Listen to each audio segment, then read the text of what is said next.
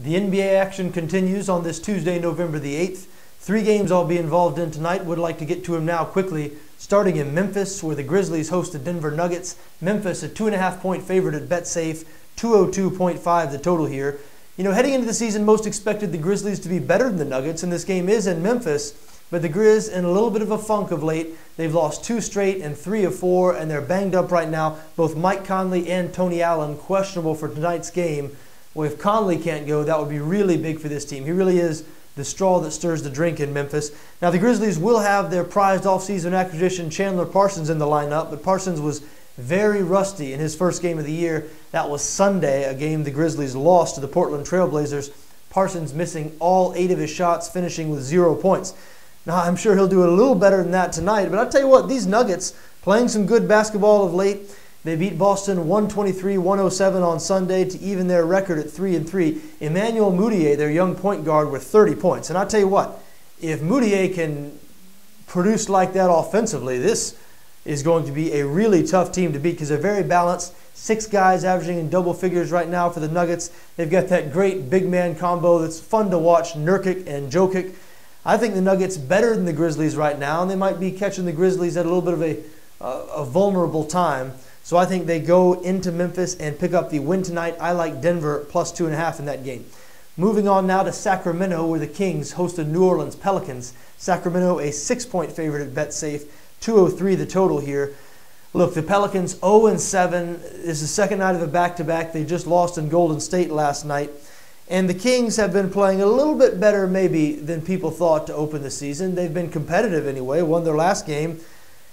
So I think a lot of people look at the Kings here and say, hey, maybe this is a good spot for them playing a winless team. They're at home. Uh, that winless team they're playing, again, second night of a back to back. But you know what? The Pelicans, uh, as 0 7 teams go, they're not too bad. Now, six of their seven games have been decided by 10 points or fewer.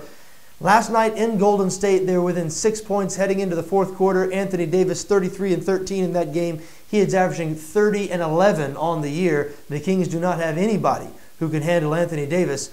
And you know, they moved Omer Asik into the starting lineup. The Pelicans did. He should help them deal with De- DeMarcus Cousins. Asik, one of the best defensive big men in the league. The way Sacramento is so inconsistent wouldn't shock you, would it, if they really let down tonight and lost this game to the Pelicans? I think the Pelicans, again, they've been keeping it close with just about everybody. It's early enough in the season where the second night of a back to back thing shouldn't really hurt them. I think they might be a good sneaky play tonight as a six point dog in Sacramento. I am on New Orleans. Final game I'm on on this Tuesday, November the 8th. What about the LA Lakers at home playing the Dallas Mavericks? LA, a five point favorite at BetSafe, 205.5 the total here. The Lakers hot right now. They've won three games in a row. And one thing this team can do is put the ball in the basket. They have scored 117 points or more in all four of their wins this season. They're currently 4 and 3. Just so happens that putting the ball in the basket is the one thing the Dallas Mavericks cannot do right now. Dirk Nowitzki injured. He'll be out for this game again, dealing with an Achilles injury. Deron Williams, their point guard, missed the last game, expected to be out tonight as well. And look, I know the Mavs won their first game of the season in their last game without Dirk or Deron Williams.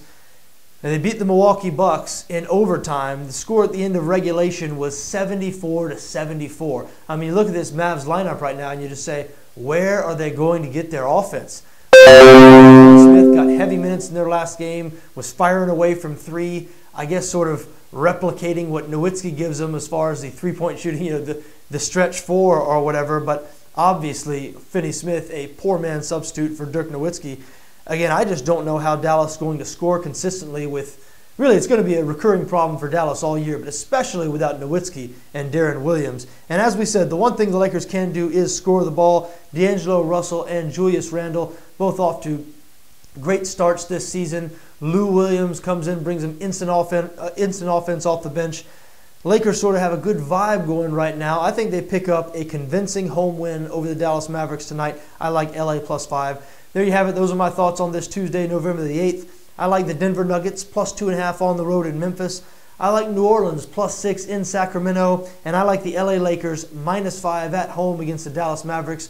Folks, I wish you best of luck in whatever you decide to do on this Tuesday night, just so long as your interests don't conflict with my interests.